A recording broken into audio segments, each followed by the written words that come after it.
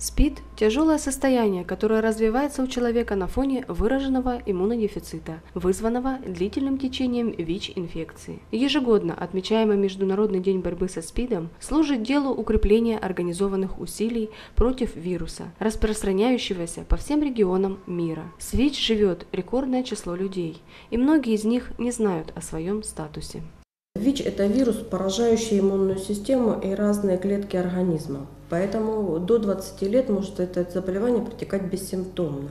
Когда уже присоединяются другие заболевания на фоне снижения иммунитета, мы их называем оппортунистические. Иногда вы можете услышать понятие дружественное заболевание.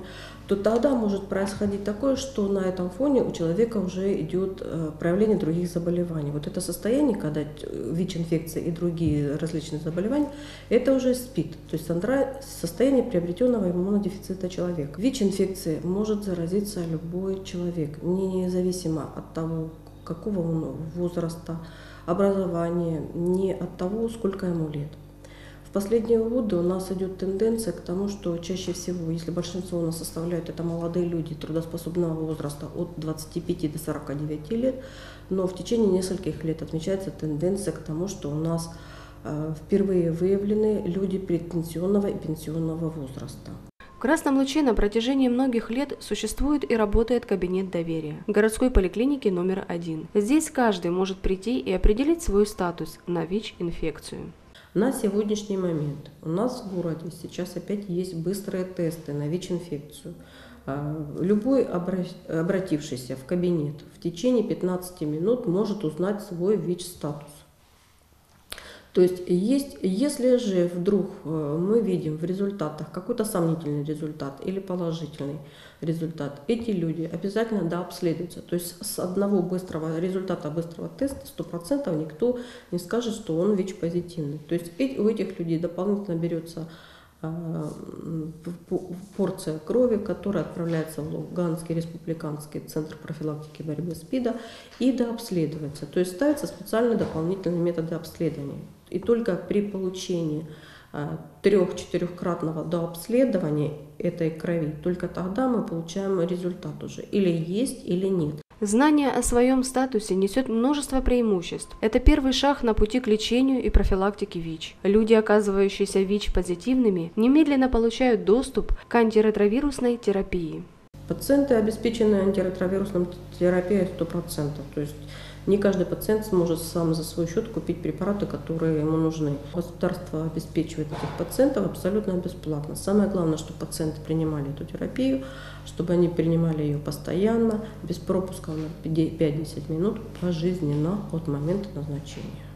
Когда о СПИДе только начинали узнавать, это было очень загадочное заболевание. Люди верили, что ВИЧ и СПИД могут передаваться при укусе комара, при использовании одного стакана с ВИЧ-инфицированным, при нахождении в одной комнате с кашляющим больным, при поцелуях или объятиях с ВИЧ-положительным. Сейчас эти мифы развеяны. Врачи знают, при каких обстоятельствах передается ВИЧ-инфекция. ВИЧ не передается просто э, через укусы насекомых, через укусы комаров, не передается через рукопожатие и обнимание, не передается при пользовании общими э, предметами индивидуального обихода. Ну, то есть э, нельзя заразиться в бассейне, нельзя заразиться просто в транспорте, этого не происходит. То есть существуют определенные э, рекомендации, когда мы говорим, что э, есть риск, э, риск поведений. Это незащищенные половые контакты, это использование из уже открытых, загрязненных индивидуальных средств, ну, то есть шприцы. Это может быть средства для маникюра или педикюра. Это может быть в парикмахерской острые бритвы. Вот эти варианты, если они не прошли достаточную специальную термическую или же химическую обработку, они могут являться источниками инфекции. Миллионы людей во всем мире заражаются ВИЧ-инфекцией. В Красном Луче также есть люди ВИЧ-позитивные. На сегодняшний момент у нас по городу, просто так вот, если уже говорить по статистике, это идет 159 человек – из них это 10 деток, которые в стадии подтверждения. Э, и по, если говорить о той статистике, которая еще существует, э, ну, начиная 12 лет назад с этого же кабинета, у нас на учете было их 35 человек. и два человека или, э, было со СПИДом, то на сегодняшний момент у нас пациентов, которые со СПИДом, которые живут, которые получают лечение, это 41 человек.